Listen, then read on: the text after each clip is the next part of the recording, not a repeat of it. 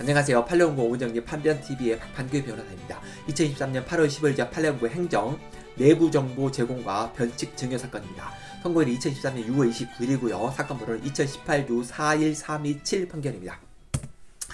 이 사건은 이제 증여수의 부가처분 취소 청구의 소고요. 원고는 납세자고 피고는 동네 세무서장입니다. 상고를 했는데 어, 세무서가 이겼죠. 내용 보시죠. 원고는 2009년 9월 7일 날 삼정 GC 건설을 설립을 합니다. 그리고 2011년 9월 10일 날 유상증자 주식 3만 주를 인수합니다. 그 이제 이런 그 작은 회사들은 유상증자를 해도 사실상 이제 기존 주주들이 어그 그러니까 기존 주주가 이제 유상증자에서 그 자본금을 내고 증식을 가져오는 거죠. 근데 이 삼정 GC 건설은 9월 10일에 유상증자를 한 이후에 11년 12월 12월에 부산 아파트 건설사업 사업계획 승인을 받아가지고 주식회사 삼정이 시공사가 되어서 2014년 12월 11일에 사용 승인을 받습니다. 그러니까 이제 삼정은 아버지 회사였고요. 원고는 삼정 GC건설을 설립을 한 이제 아들 회사죠. 그런데 유상증자를 2011년 9월에 딱 한 다음에 그 다음에 이제 건설사업 사업을 승인을 받아서 어 사업계획을 수립을 하니까 이제 주, 주식 회사 가치가 높아진 거죠. 높아가니까 원래 탐만주를 어, 5천 원에 뭐 이렇게 샀었는데 주식 가치가 올라가니까 뭐 한뭐 뭐, 뭐 2만 원, 3만 원이 돼서 엄청나게 돈을 벌게 된 거죠. 그러니까 5천 원짜리가 2만 원이 된 거죠.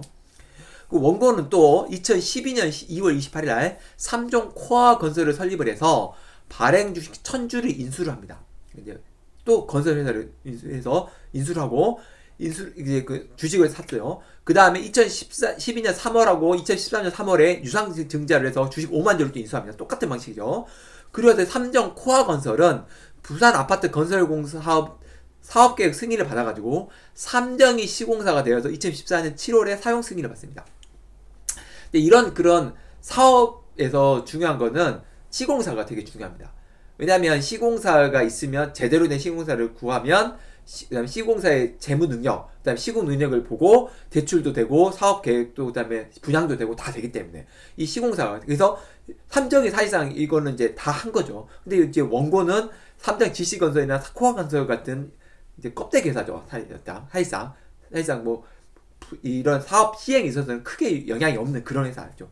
그래서 세무조사를 거쳐서 원고가 삼정의 회장이자 부친인 A로부터 내부 정보를 제공받아서 삼정 지시 건설과 삼정 코아 건설의 주식을 취득한 것으로 보고 주식 법인 주식의 가치 증액에 대해서 증여세 과세를 통보합니다. 원심은 내부 정보 제공으로 재산을 유상으로 취득한 경우에 직접적으로 증가한 이익을 얻는 경우를 증여세 부과 대상으로 보는데 여기서는 내부 정보로 인해서 직접 부과한 게 아니에요. 그 내부 정보를 위해서 주식을 유상기자를 받았고 그 유상자 자식 주식의 가치가 증가하면서 돈을 받았기 때문에 A로부터 돈이 넘어온 게 아니라 주식의 가치만 증가한 거기 때문에 이건 증여세 부상이 아니다라고 해서 증여세를 취소해 버린 거죠. 문제는 이렇게 특수 관계인으로부터 기업 내부의 정보를 제공받아가지고 그 정보와 관련된 재산을 유상으로 취득한 경우에 주식의 가치 증가를 로 봐서 그 가치 증가가 그런 그런 유상 취득 내부 정보를 위한 유상 취득에 해당해서 증여세 부과 대상이 되느냐 이게 문제가 됩니다. 원심은 안 된다고 봤죠. 왜냐하면 직접 증, 취득한 게 아니기 때문에 내부 정보를 받아서 아버지로부터 받은 게 아니죠. 내부 정보를 받아서 주식을 유상증자 받았고 그 주식 가치에 상장하기 때문에 이전된 게 아니라는 거죠. 대법원은 뭐라고 하냐면 재산 가치의 증가 사유와 주식 가치의 증가분 의 인과관계가 있다면 이 사건 조항의 과세세상 이익에 해당한다는 겁니다. 그래서, 그래서 어, 상속 증여세법의 문헌상 반드시 동일 재산으로 규정하고 있는 게 아니라는 거예요. 그렇기 때문에 주식을 제외할 경우에는 변칙 증여 방지령 이 사건 조항 취지에도 부합하지 않는다는 겁니다. 이 사건 이 조항 자체가 변칙 증여를 막기에 만든 건데 주식을 취득하는 경우에서는 빠지게 되면 이걸로는 어, 막을 수 없으니까 그리고 대법원이 문헌상 반드시 같은 재산이라고 한 규정도 없다는 겁니다. 따라서 재산 가치 증가 사유 이 사람의 증가가 이 3종으로부터 사업계획 승인을 받아서 이렇게 된 거. 요거와 주식 가치의 증가분이 동일한 이유라면 그러면 그거는 이거에 과세가 된다. 그래서 주- 증여세 부과할 수 있다. 그래서 세무서의 처분이 맞다라고 본 거죠.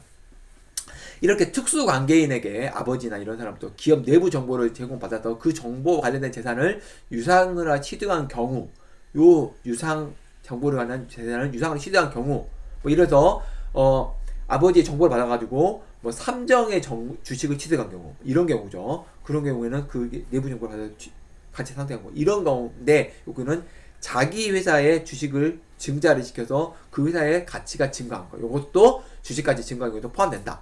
즉 유상 증자로 회사의 지분을 늘린 것도 증가되고 그래서 이러한 변칙 증여에 대해서도 증여세가 과세될 수 있다라는 거죠. 그래서 이런 형태의 증여에 대해서는 증여세 부과된다라는 거를 알고 계시면 될 것 같습니다. 이상 마치겠습니다. 감사합니다.